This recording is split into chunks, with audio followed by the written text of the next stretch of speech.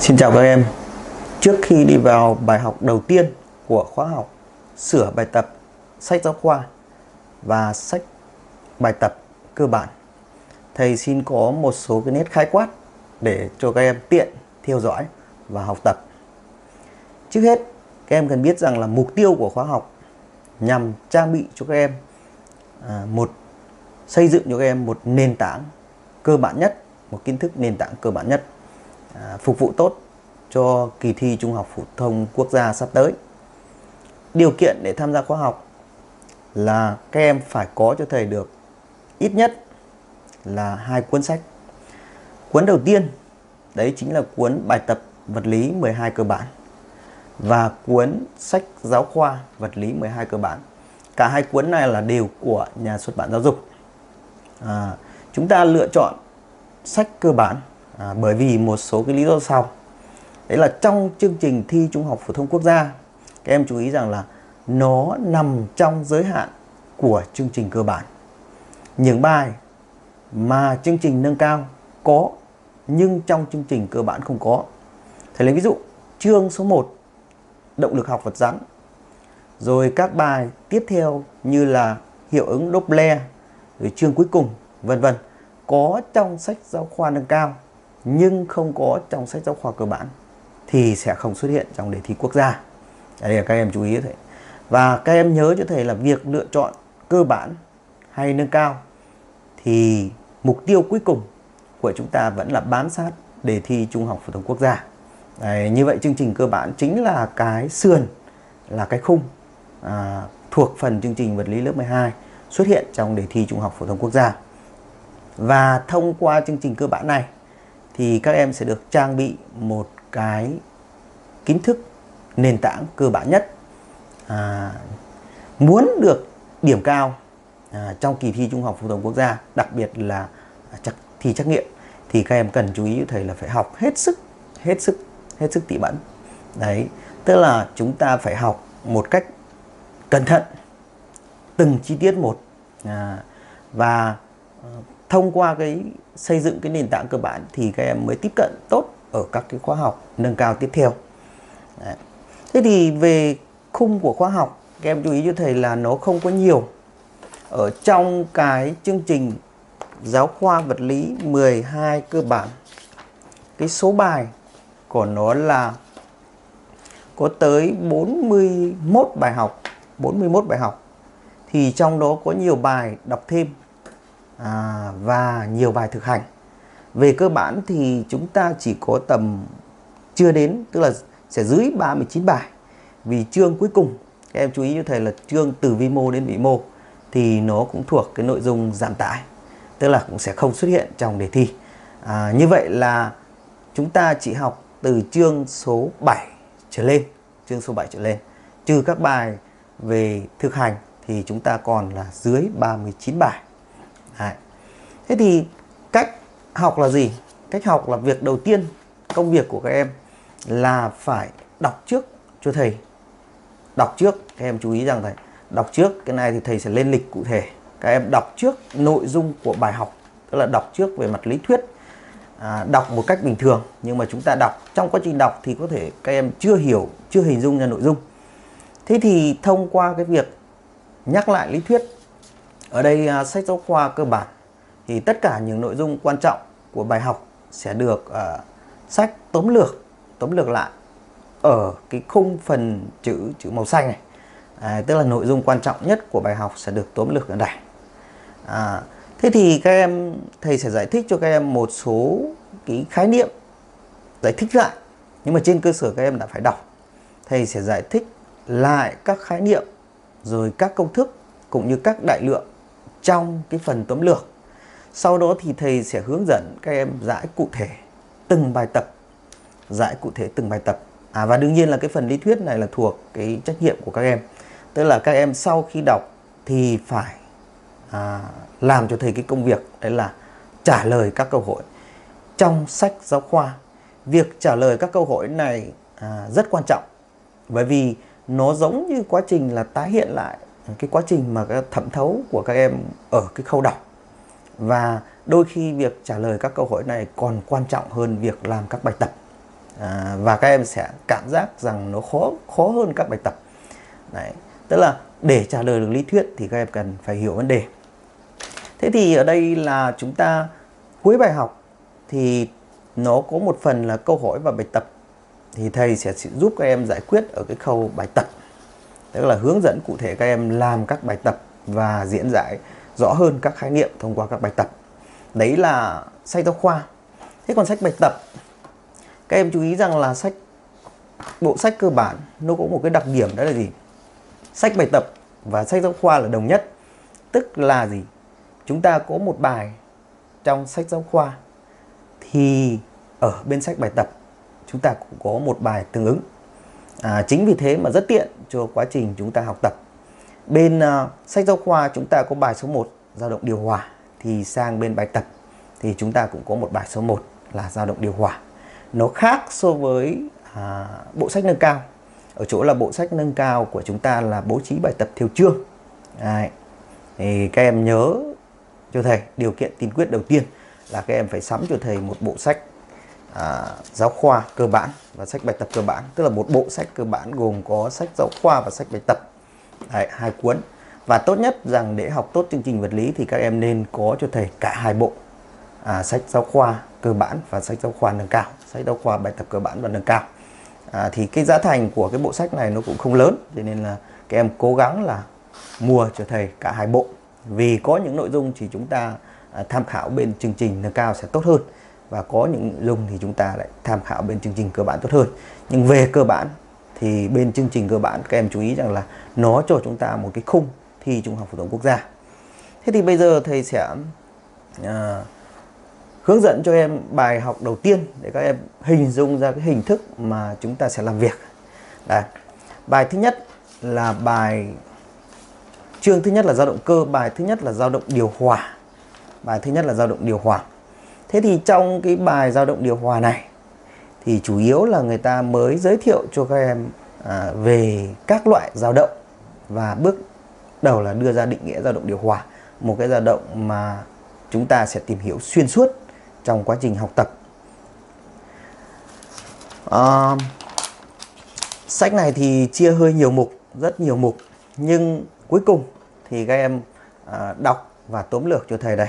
Nhớ cho thầy được cái à, phần trong khung chữ xanh. Là cái phần này giống như là cái phần à, chú thích là cái phần ghi nhớ đấy. Thì ở đây là à, qua cái bài học thứ nhất thì chúng ta phải nắm được phương trình. Phương trình. Phương trình tức là cái phương trình dao động điều hòa hay là phương trình lý độ các em chú ý phương trình lý độ x bằng a cos omega t cộng phi. Rồi hiểu được cho thầy từng đại lượng trong phương trình này. X nó là cái gì? A nó là cái gì? Rồi là omega t cộng phi, tức là cả cái cái sau hàm cốt này nó là cái gì? Đại lượng phi là cái gì? Omega là cái gì? Rồi qua omega lại có những đại lượng nào? Giống như chương trình vật lý lớp 10 mà chúng ta đã học là chu kỳ tần số. Đấy. Rồi là thông qua cái phương trình này thì chúng ta cũng phải nhớ tiếp cho thầy hai cái phương trình. Đấy là hai cái phương trình là phương trình vận tốc và phương trình gia tốc thế thì các em đã học đạo hàm rồi. Thì nhớ cho thầy là à, nó vận tốc nó là đạo hàm bậc nhất của lý độ. Và gia tốc là đạo hàm bậc nhất của vận tốc tức là đạo hàm bậc hai của lý độ. Cái này các em đọc cụ thể ở phần trước. Bây giờ thầy sẽ hướng dẫn cụ thể các em làm các bài tập trong cái à, phần cuối sách à, cuối cuối cuối bài học. Thứ nhất là bài số 7 bài số 7 chúng ta có gì? Một vật dao động điều hòa. Có quỹ đạo là một đoạn thẳng dài 12 cm và dao động điều hòa quỹ đạo đoạn thẳng dài 12 cm và đề bài yêu cầu chúng ta là à, trả lời xem là biên độ dao động của vật là bao nhiêu. Đấy. thế thì thông qua bài này cái à, thầy sẽ giúp các em nhớ lại cái khái niệm quỹ đạo chuyển động là gì. Quỹ đạo chuyển động như lớp 10 chúng ta đã được học đấy như là gì? Đường mà chất điểm vạch ra trong quá trình chuyển động. Đường mà chất điểm các em chú ý. À, đường mà chất điểm vạch ra trong quá trình chuyển động người ta gọi là quỹ đạo chuyển động. Nếu chất điểm mà vạch ra một đoạn thẳng thì quỹ đạo chuyển động của nó là một đoạn thẳng. Nếu chất điểm mà vạch ra một đường tròn trong quá trình chuyển động thì ta nói là quỹ đạo chuyển động của vật là tròn. Rồi nếu chất điểm vạch ra một phần của parabol trong quá trình chuyển động, ví dụ như là vật chuyển động nếm ngang hoặc là chuyển động của vật nếm sin trong chương trình vật lý lớp 10 đấy, thì quỹ đạo của nó là một phần của parabol. Thế quay lại bài này. Bài số 7, đây là vật dao động điều hòa. À, có quỹ đạo là một đoạn thẳng dài 12 cm. Các em chú ý rằng là vật dao động điều hòa thì dọc theo trục OX này. O là góc tọa độ. Chúng ta có hai vị trí đối xứng nhau qua O. Cách O một khoảng là bằng A. Một khoảng là bằng A. Và lệch về phía âm của trục tọa độ thì chúng ta có trừ A, lệch về phía dương của trục tọa độ ta có A. Này. Thế thì quá trình vật dao động phạm vi chuyển động của vật chỉ là từ trừ A đến gì nhỉ? Đến A. Từ trừ A đến A, em chú ý thầy. Lượn đi lượn lại, lệch từ trừ A đến A. Có nghĩa là trong quá trình dao động, vật chỉ vạch ra cái đoạn thẳng từ trừ A đến A. Đoạn này sẽ có chiều dài là gì nhỉ? 2 gì? 2A. Chiều dài là 2A. Như vậy là để tìm A thì chúng ta chỉ cần lấy gì? Lấy chiều dài quỹ đạo chia cho 2 gì? 2A, à chia cho 2. Tức là ở đây chúng ta sẽ có A chiều dài của quỹ đạo là bằng 12 cm. Như vậy A của chúng ta sẽ bằng 12 mà chia cho 2. Tức là chiều dài của đạo bằng 2A và chúng ta có kết quả là nó bằng 6 cm. À, như vậy khái niệm qua cái bài thứ nhất thì các em nhớ cho thầy đấy là quỹ đạo của vật dao động điều hòa có chiều dài là 2A. Đấy. Bài số 8 Một vật chuyển động tròn đều với tốc độ góc là pi radian trên giây. Hình chiếu của vật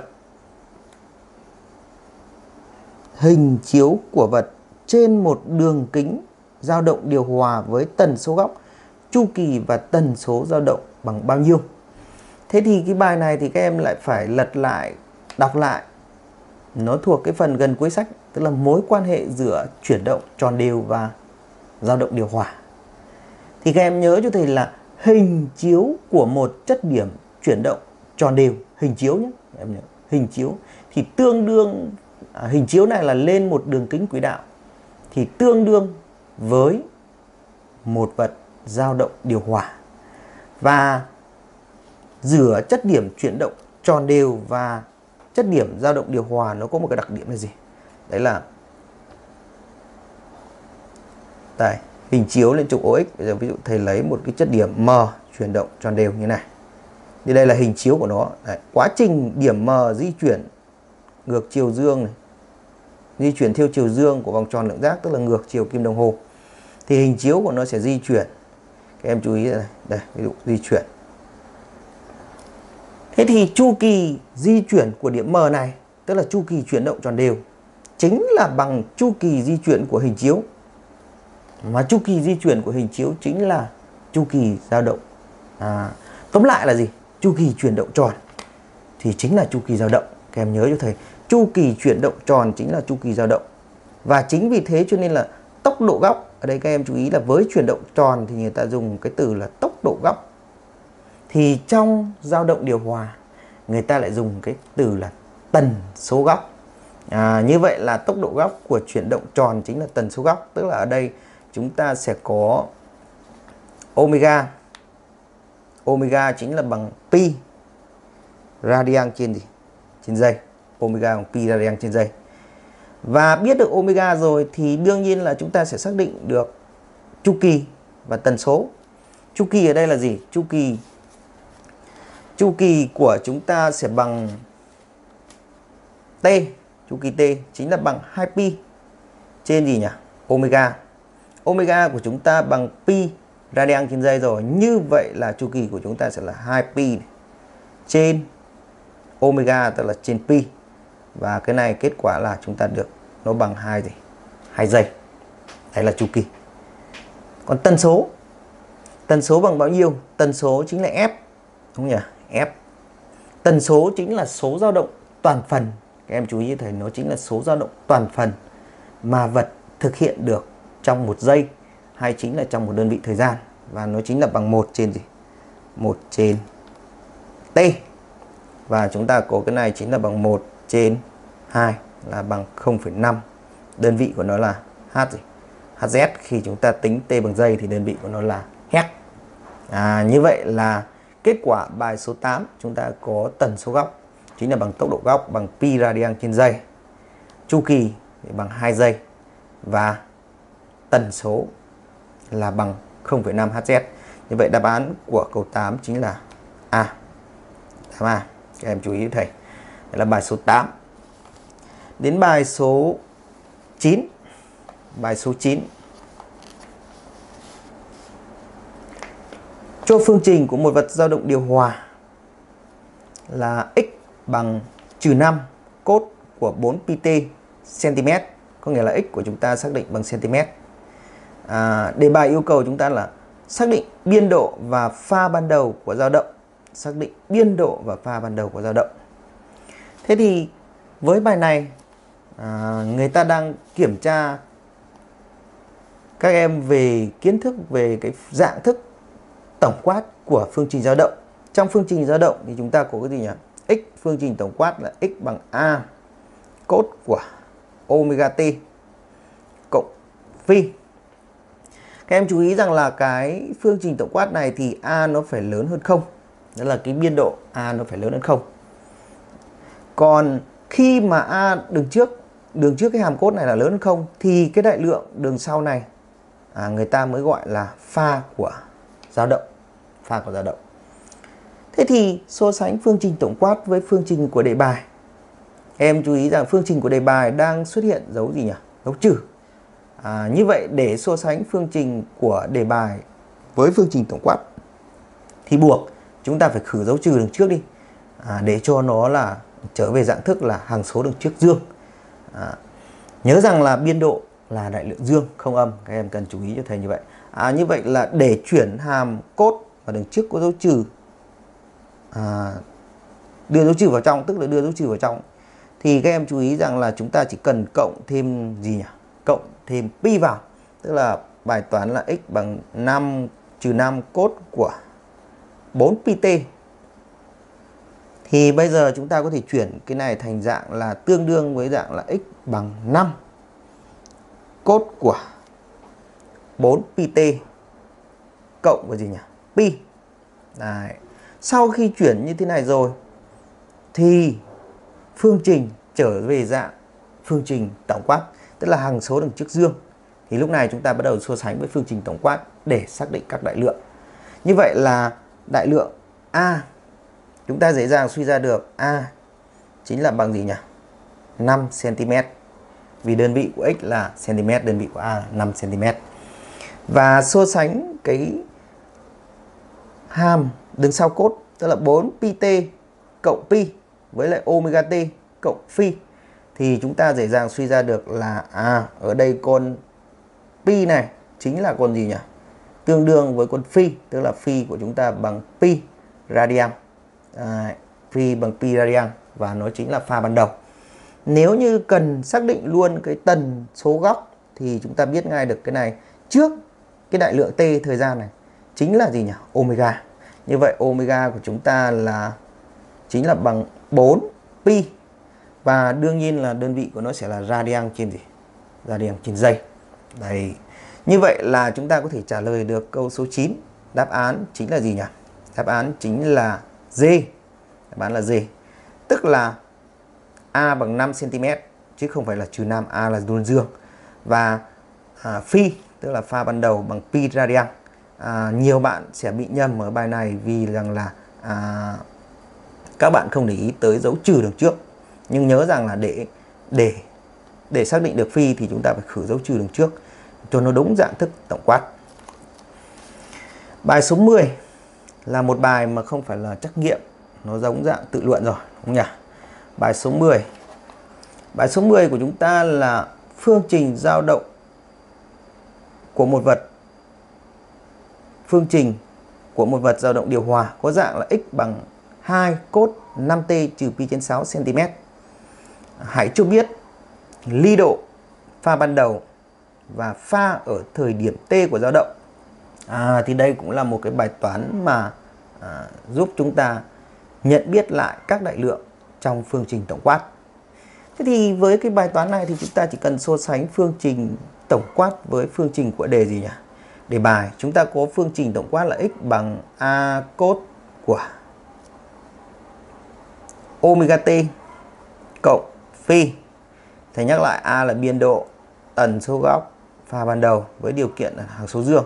Ở đây biết trước rồi, đây, phương trình của đề bài là 2 cốt của 5t trừ pi trên gì? Pi trên 6 so sánh hai phương trình này, thì chúng ta biết được ngay biên độ a chính là bằng gì nhỉ? 2 cm cm biên độ a bằng 2 cm pha ban đầu. Pha ban đầu chính là phi. Phi chỉ chính là bằng gì nhỉ? Đây, so sánh hàng này. Trừ pi trên gì? Pi trên 6 radian, nó là góc. Pha ở thời điểm t của dao động. Các em chú ý rằng khi hằng số đằng trước đã dương rồi, thì cả cái đại lượng đằng sau hàm cốt, người ta gọi là pha của dao động, pha của dao dao động. Tức là trong phương trình tổng quát thì omega t cộng phi chính là pha của dao động. Như vậy ở đây là pha tổng quát ở thời điểm t thì chính là gì? Pha ở thời điểm t. Ở thời điểm t. Thời điểm t chính là gì nhỉ? 5t trừ pi trên gì? Trừ pi trên 6 cả cái đại lượng này gọi là pha ở thời điểm t. Muốn xác định pha ở một thời điểm cụ thể nào đấy thì như vậy là muốn xác định pha ở một thời điểm nào đấy các em chỉ cần thay thay t vào thôi. Chẳng hạn như thầy muốn xác định pha ở thời điểm t bằng 1 giờ 5 giờ vân vân thì chúng ta chỉ cần việc thay t vào. Đương nhiên rằng với bài toán này thì người ta phải cho à, đơn vị của t trong phương trình. Nếu muốn xác định cụ thể người ta phải cho đơn vị của t trong phương trình. Nó là cái gì? Ví dụ t đô bằng giây hay t đô bằng gì? Thường thì các bài toán của chúng ta là t trong phương trình là xác định bằng giây đấy là bài số um, 10 bài số 11 một vật dao động điều hòa mất 0,25 giây để đi từ điểm có vận tốc bằng 0 tới điểm tiếp theo cũng có vận tốc bằng 0. Khoảng cách giữa hai điểm là 36 cm. Đề bài yêu cầu à, chúng ta tính cái gì? Đề bài yêu cầu chúng ta tính này. Đề bài yêu cầu chúng ta tính chu kỳ, tần số và biên độ. Các em uh, quan sát cái đề bài yêu cầu tính chu kỳ, tần số và biên độ. Thế thì đây là một cái bài toán à, bước ban đầu thì các em có thể bỡ ngỡ nhưng mà dần quen thì nó là một cái bài toán ngôn từ chủ yếu về mặt ngôn từ và chúng ta sẽ lượm được nhiều cái điều bổ ích từ cái bài toán này. Đây bây giờ trước khi làm bài toán thì thầy lại vạch sơ qua lại cái sơ đồ à, mô tả quá trình chuyển động của vật dọc theo trục OX các em chú ý đây là X. O. O này người ta gọi là vị trí cân bằng gốc tọa độ thường. Trong quá trình xét dao động thì chọn à, cái vị trí cân bằng trùng với gốc tọa độ. Này trùng vị trí cân bằng này trùng vị trí cân bằng. Quá trình vật dao động của chúng ta là nó chỉ lắc đi lắc lại quanh hai vị trí. Vị trí là trừ a và vị trí gì nhỉ? A. Em chú ý, nó chỉ di chuyển qua lại hai cái vị trí này. Hai vị trí này. Và bên vị trí A, tức là độ lệch cực đại về phía chiều dương, người ta gọi là biên gì nhỉ? Biên dương. Đấy, biên dương. Và bên lệch cực đại về phía âm của trục tọa độ thì người ta gọi là biên gì? Biên âm. Biên âm. Phạm vi chuyển động của vật là từ trừ A đến A. Và các em chú ý rằng đã gọi là biên biên tức là giới hạn chuyển động thì ở vị trí biên tốc độ của vật phải bằng không vận tốc của vật phải bằng không. À, đây là v bằng không. V bằng không vị trí biên v bằng không. Đương nhiên là vận tốc ở biên phải bằng không. Nếu không bằng không thì vật vượt biên đúng không nhỉ? Em phải chú ý cho thầy chắc chắn rằng ở biên là vận tốc bằng không. Đề bài của chúng ta bây giờ chúng ta quay lại cái à, dự kiện của bài toán. Vật dao động điều hòa phải mất 0,25 giây để đi từ điểm có vận tốc bằng 0 tới điểm tiếp theo cũng có vận tốc bằng 0. Đấy. Thế thì chúng ta vừa phân tích rằng à vật dao động điều hòa sẽ có hai vị trí ở đấy vận tốc bằng không tức là biên âm và biên gì? Biên dương. Như vậy là gì? Khoảng thời gian mà đề bài cho chính là khoảng thời gian đi từ biên này đến biên kia, biên âm này đến biên dương hoặc là biên dương đến biên âm. Mất 0,25 giây và tiếp tục các em phải nhớ cho thầy là cái khái niệm một dao động toàn phần tức là khoảng thời gian mà vật thực hiện một dao động toàn phần, người ta gọi là một chu kỳ. Thế thì vật dao động điều hòa, quá trình cái chu trình nó đi từ biên dương chẳng hạn đến biên âm. Biên dương đến biên âm, rồi lại quay từ biên âm đến biên dương. Chúng ta hiểu nôm na nó là một vòng khép kín một vòng khép kín, thì người ta gọi là một chu kỳ. Và khoảng thời gian này chính là thực hiện một cái vòng này chính là chu kỳ T, chu kỳ T. Như vậy là nếu như vật của chúng ta đi từ biên âm sang biên dương hoặc biên dương sang biên âm, thì khoảng thời gian đấy chính là bao nhiêu nhỉ? T trên mấy nhỉ? T trên gì? T trên 2 đi từ điểm có vận tốc bằng 0 đến điểm tiếp theo có vận tốc bằng 0 thì khoảng thời gian là T trên 2 như vậy là bám vào dữ kiện đề bài chúng ta sẽ có T trên 2 chính là bằng 0,2 gì? 25 giây. Và từ đấy chúng ta suy ra được chu kỳ T chính là bằng 2 nhân 0,25 tức là 0,5 giây 0,5 giây. Xong ý thứ nhất xác định chu kỳ. Tiếp theo là à, đề bài yêu cầu à, cho tiếp là khoảng cách giữa hai điểm là 36 cm à, khoảng cách giữa hai điểm là 36 cm tức là khoảng cách từ biên âm tới biên dương. Đây khoảng cách này là gì? 36 cm được từ đây đến đây là 36 cm mà đoạn này chính là bằng bao nhiêu a nhỉ? Đoạn này chính là bằng 2a này. Từ đây đến đây là a. Em chú ý như thế a. Và từ bên này sang bên này nữa là a nữa. Như vậy khoảng cách này là 2a từ bên biên dương đến biên âm là 2a và nó chính là bằng 36 cm. Từ đấy chúng ta suy ra được A chính là bằng gì? A của chúng ta chính là bằng 36 mà chia cho 2 tức là bằng 18 cm. À, xong ý thứ hai tức là chúng ta xác định được biên độ. À, đề bài yêu cầu tính tiếp đấy là gì? Tần số. Cái này thì tần số thì dễ rồi đúng không nhỉ? Chúng ta có chu kỳ rồi. Như vậy tần số là F chu kỳ đang tính bằng giây chúng ta có tần số f chính là bằng 1 trên t. Bằng 1 phần gì? 0,5 và kết quả là chúng ta sẽ được bằng 2 2 giây. À, tóm lại là kết quả của bài toán chu kỳ của chúng ta là bằng 0,5 giây bằng hai lần khoảng thời gian này. Còn tần số thì chính là bằng 2h gì?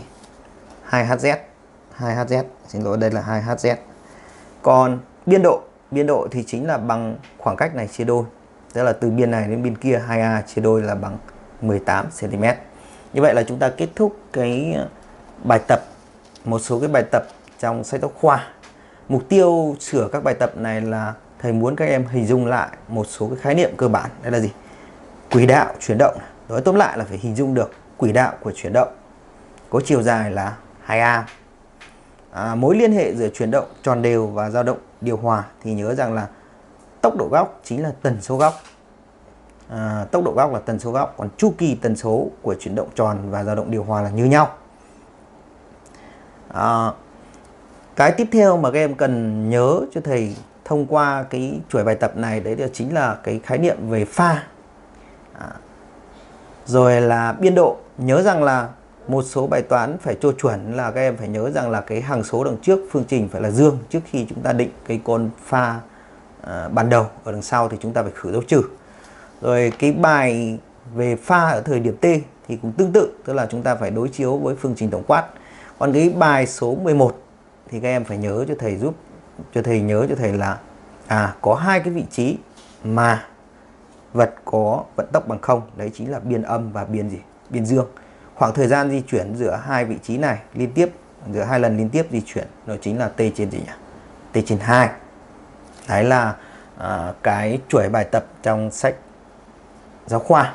Bây giờ chúng ta chuyển tiếp sang cái bài tập trong sách bài tập. Bài tập trong sách bài tập. Bài thứ nhất đây tức là dao động cơ. Tương ứng với sách bài tập thì chúng ta có sách à, sách giáo khoa thì chúng ta có sách bài tập. Ở đây chúng ta có chắc là cũng không nhiều có bao nhiêu bài. Tổng là chúng ta có 1.9 tức là 9 bài. 9 bài, bao gồm cả trắc nghiệm, cả tự luận. Bài thứ nhất là một chất điểm dao động điều hòa có quỹ đạo là một đoạn thẳng dài 30 bài này thì chúng ta sửa nhanh được không nhỉ. Quỹ đạo dài 30 tức là 2A thì bằng gì rồi? 30 cm và chúng ta dễ dàng suy ra được biên độ chính là A chính là bằng 15 cm như vậy là biên độ dao động là 15 cm bài thứ hai tốc độ của một vật dao động điều hòa cực đại khi nào? À, tốc độ của một vật dao động điều hòa cực đại khi nào? Thì cách làm bài toán này là cái em có thể hình dung theo kiểu là phân tích lực hoặc là tức là phân phân tích quá trình di chuyển đấy. Về mặt à, định tính. Còn cái bài này là chúng ta có thể định lượng từ uh, suy ra từ phương trình đại số. Các em chú ý rằng là chúng ta có phương trình của x này với bài 1.2 này nhé, thầy sẽ hướng dẫn các em hình dung qua quy trình đại số. Đề bài hỏi là tốc độ của một vật dao động điều hòa cực đại khi nào? Thì em chú ý cho thầy là a à, như vậy là chúng ta phải nắm được phương trình của x x chính là bằng a cốt của omega t cộng gì nhỉ? Cộng phi. À, v là đạo hàm bậc 1 của x tức là bằng x phẩy thiếu t. Như vậy nó chính là bằng trừ a. Omega. Chú ý là các em chú ý rằng đây là đạo hàm của hàm hợp, cho nên nó thêm một omega và độ hàm của hàm cốt thì ra trừ sin. Như vậy chúng ta có trừ a omega sin của omega t cộng cộng phi. Tốc độ chính là độ lớn của vận tốc. Nhìn vào đây thì các em biết ngay cho thầy rằng gì à từ đây suy ra được à trị đối của v mắc tức là tốc độ chính là bằng gì nhỉ? A omega a omega omega. Thế nhưng khi mà v max bằng a omega thì chúng ta chú ý rằng là cái hàm sin này, đây là trị đối với max, tức là có thể nó có thể bằng cộng trừ như vậy, trị đối của sin, suy ra được trị đối của sin omega t mà cộng với phi. Đương nhiên nó phải bằng gì nhỉ? Cộng trừ gì? Cộng trừ 1 mà trị đối lên là nó bằng 1 đúng không nhỉ? Cộng trừ 1 như vậy sin bằng cộng trừ 1 sin bằng cộng trừ 1 mà chúng ta lại có sin bình của một cái hàm bất kỳ cộng cốt bình, thì bao giờ cũng bằng gì? Bằng 1 sin bằng cộng trừ 1 rồi thì đương nhiên là chúng ta suy ra được cốt của gì? Omega t cộng phi chắc chắn phải bằng gì? Bằng 0 sin bằng cộng trừ 1 cốt bằng 0 vì sin bình cộng cốt bình bằng 1 đúng nhỉ?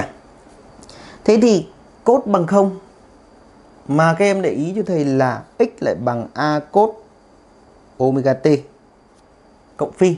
Cốt bằng 0 thì đương nhiên chúng ta suy ra được x bằng mấy nhỉ? X bằng bằng 0 như vậy là khi tốc độ cực đại v max thì x bằng 0 x bằng 0 có nghĩa là gì? X bằng 0 có nghĩa là vật của chúng ta đã đang ở, vật ở gốc tọa độ, gốc tọa độ này. Gốc tọa độ, đúng nhỉ? Vật ở gốc tọa độ. Và thường cái bài toán của chúng ta là chọn vị trí cân bằng là gốc tọa độ cái này là trùng với vị trí cân bằng. Như vậy là chúng ta có thể có kết luận là khi V max khi tốc độ cực đại tốc độ cực đại tốc độ cực đại thì vật thì này, vật à, qua vị trí cân bằng vị trí cân bằng hay là đang ở vị trí cân bằng tốc độ cực đại vật đang ở vị trí cân bằng quay lại bài toán như vậy là chúng ta sẽ chọn đáp án là gì nhỉ? D còn tất cả các cái mốc t bằng 0 hoặc là khi t bằng t lớn trên 4 hoặc khi t bằng t trên 2 thì nó không có ý nghĩa bởi vì lúc đấy là chúng ta chưa biết vật ở đâu. À, cái mốc này nó còn thời điểm này nó còn tùy thuộc vào cái cách mà chúng ta à, cái vị trí mà vật xuất phát này. rất nhiều yếu tố không thể khẳng định được. Và như vậy là câu số 2 là chúng ta chọn đáp án là gì khi vật qua vị trí cân bằng đến câu số 1.3 hãy chọn câu đúng. Một chất điểm chuyển động tròn đều với tốc độ dài là 0,6 m trên giây trên một đường tròn. Đường kính là 0,4 m. Hình chiếu của nó lên một đường kính dao động điều hòa với biên độ chu kỳ và tần số góc là bao nhiêu? Thì cái bài này thầy đã nhắc với các em rồi. Tức là chúng ta sẽ tận dụng mối liên hệ giữa chuyển động tròn đều và dao động điều hòa. Nhớ cho thầy rằng là à đây, thầy vẽ lại cái đường tròn một chút để chúng ta dễ hình dung hơn. Đây là x. Đây là o. Chỗ đây là sẽ là trừ a, đây là a. Như vậy là bán kính của quỹ đạo chuyển động tròn này. R này chính là bằng biên gì nhỉ? Biên độ. Bán kính quỹ đạo chuyển động tròn là bằng biên độ. Chu kỳ của chuyển động tròn. à, các em chú ý rằng là chu kỳ của cái chất điểm chuyển động tròn này chính là bằng chu kỳ dao động. À, T tròn này chính là bằng T dao động. Hai cái này một cái là chuyển động tròn, một cái là dao động điều hòa. Còn tốc độ dài Tốc độ dài các em chú ý rằng là chương trình vật lý lớp 10 tốc độ dài là V chính là bằng omega nhân gì? R. Thế nhưng R bằng A cho nên là trong bài toán này chúng ta sẽ có tốc độ dài chính là bằng omega nhân gì? Omega nhân A. Hay nói cách khác là tốc độ dài của chuyển động tròn đều chính là bằng tốc độ cực đại của vật dao động. Tốc độ cực đại. Như vậy là Bằng cách nhớ mấy cái khái niệm này thì chúng ta dễ dàng trả lời được câu hỏi số, câu hỏi số 1.3. Đây, câu hỏi số 1.3. Em quan sát cái ờ, cái cái cái đề bài. Được chưa nhỉ? Như vậy thầy sẽ trả lời nhanh luôn này.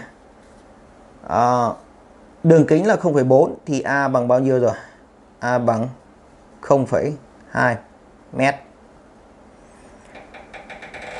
A bằng 0,2 mét. Rồi là chu kỳ. Chu kỳ thì chúng ta có tốc độ dài là bằng 0,6 0,6 mét trên gì? giây. Thì cái này chính là bằng A nhân với omega. A bằng 0,2. Như vậy là omega sẽ bằng 0 à, bằng bằng 3 omega A bằng 0,2 A bằng 0,2 như vậy omega chính là bằng 3 radian trên gì trên giây omega còn à, thông qua omega thì chúng ta xác định được chu kỳ chu kỳ chính là gì chu kỳ chính là bằng t. T chính là bằng 2pi trên omega tức là sẽ bằng 2pi mà chia cho 3 2pi chia cho 3 tức là 1,5 pi. 1,5 à 2 2 phần 3 pi trên à, 2 phần 3 pi giây đơn vị là giây. Thế là chúng ta sẽ xác định được uh, đáp án ở đây là bao nhiêu rồi nhỉ? A rồi này A là bằng 0,2 3 0,23 và ở đây là 2 nhân với pi 2 nhân với pi tức là 2 nhân với 3,14 6 6 phẩy. Mà chia cho 3 tức là hơn 2 phẩy tức là ở đây chúng ta sẽ được đáp án là gì? D các em tính cụ thể đáp án là D bài 1.4 ờ, vật dao động điều hòa theo phương trình là x bằng 5 cốt pt cm tốc độ của vật có giá trị cực đại là bao nhiêu. Thì cái bài này thì chúng ta trả lời rất nhanh được rồi, đúng không nhỉ? Bởi vì chúng ta vừa vừa làm các bài toán trước là tốc độ cực đại chính là bằng gì? Tốc độ cực đại chính là bằng, thông qua cái bài toán ờ, bên ờ, sách giáo khoa đấy, tốc độ cực đại chính là a v max. V max chính là bằng a nhân gì nhỉ? Omega. Bài này chúng ta sẽ có a bằng 5 cm và omega chính là bằng pi radian trên giây đơn vị cần chú thích thêm là đơn vị của t trong đây là giây thì chúng ta sẽ có tốc độ cực đại chính là 5 pi radian trên giây đây là đáp án B. Được chưa nhỉ? Đấy là hết bài toán số 4 chuyển sang à, các bài toán tự luận. À đang còn, chúng ta đang còn một bài toán trắc nghiệm về mặt lý thuyết. Đây 1.5 phương trình dao động điều hòa của một chất điểm là x bằng a cos omega t trừ pi trên 2 hỏi gốc thời gian được chọn là lúc nào? Các em chú ý cho thầy là gốc thời gian được chọn lúc nào. Trong đó là người ta liệt kê một loạt các cái điều kiện tương ứng. Lúc chất điểm ở đâu này? Lúc chất điểm qua vị trí nào? Lúc chất điểm ở vị trí. Như vậy là tất cả các bài toán này đều đụng đến cái vị trí. Vị trí tức là xác định thông qua tọa độ như vậy là chúng ta phải biết được, để biết được mốc thời gian được chọn là lúc nào, thì buộc chúng ta phải biết được tại t bằng 0 vật đang ở đâu. Thế thì với bài toán này, t bằng 0 đương nhiên là chúng ta suy ra được x chính là bằng gì? X chính là bằng a. Cốt t bằng 0 rồi thì omega t bằng 0 như vậy nó bằng cốt của trừ pi trên trên 2 và đương nhiên cốt của trừ pi trên 2 thì bằng 0 như vậy là chúng ta sẽ có là cái này chính là bằng 0 và bởi vì tại t bằng 0 thường người ta sẽ ký hiệu nó là x x0 à, như vậy là x0 bằng 0 có nghĩa là vật của chúng ta đang ở vị trí cân bằng. Thế nhưng ở đây có hai cái đáp án là chất điểm qua vị trí cân bằng. Như vậy đáp án ở đây có thể là A hoặc B. Bây giờ chúng ta phải bám tiếp nữa là bài toán cho là thiêu chiều dương hoặc thiêu chiều âm. Thế làm nào để chúng ta biết được vật đi thiêu chiều âm hay dương? Thì cái căn cứ duy nhất để chúng ta biết được vật đi theo chiều nào là chúng ta phải trả lời được. Dấu của gì nhỉ? Dấu của anh V0 dấu của V0 nếu V0 mà lớn hơn 0 thì vật đi theo chiều gì dương còn V0 bé hơn 0 thì vật đi ngược chiều dương, tức là đi theo chiều gì chiều âm như vậy là chúng ta có thể tính trực tiếp, hoặc là sau này chúng ta dùng cái đường tròn lượng giác chúng ta sẽ trả lời nhanh hơn V0 của chúng ta à chúng ta có V chính là bằng trừ A omega sin của omega t cộng gì? Cộng phi. Đấy. Mà ở đây chúng ta có t bằng 0 như vậy, suy ra được V0 chính là bằng trừ A omega sin của phi phi trong trường hợp này chính là bằng trừ pi trên gì nhỉ? Trừ pi trên 2. Như vậy chúng ta sẽ có sin của trừ pi trên 2. Sin của trừ pi trên 2 thì đương nhiên bằng trừ gì nhỉ? Trừ 1 như vậy cái này trừ với trừ thành cộng, chúng ta có cái này bằng a omega và lớn hơn không tức là vật đi theo chiều gì nhỉ chiều dương như vậy là chúng ta chọn đáp án được là gì a mốc thời gian là lúc vật qua vị trí cân bằng theo chiều dương. Sau này thì các em nhớ cho thầy là nếu như phi lớn không, phi lớn không nha, thì ban đầu, nhớ nhanh là ban đầu vật đi ngược chiều dương, đi này, ngược chiều dương thì cái này các em cũng dễ hình dung thôi. Phi lớn không, tức là chúng ta sẽ có trừ a, v không bằng gì nhỉ? Trừ a omega sin của phi mà. khi mà phi lớn không, tức là cái phần này sẽ gì? Lớn không. Lớn không thì cái này sẽ gì? Âm. Và kết luận tương tự ngược lại là phi mà nhỏ hơn không. Thì ban đầu vật lại gì? Vật đi theo gì? Đi theo chiều dương. Theo chiều dương. Nhưng nhớ rằng là thầy đang kết luận là ban gì nhỉ? Bán ban đầu. Nhớ đây là kết luận là ban đầu. Các em hết sức chú ý cho thầy. Ở cái này chúng ta sẽ làm rõ hơn ở cái phần sau. Thế còn tiếp một số cái bài toán về uh, tự luận. Bài toán tiếp theo bài toán số uh,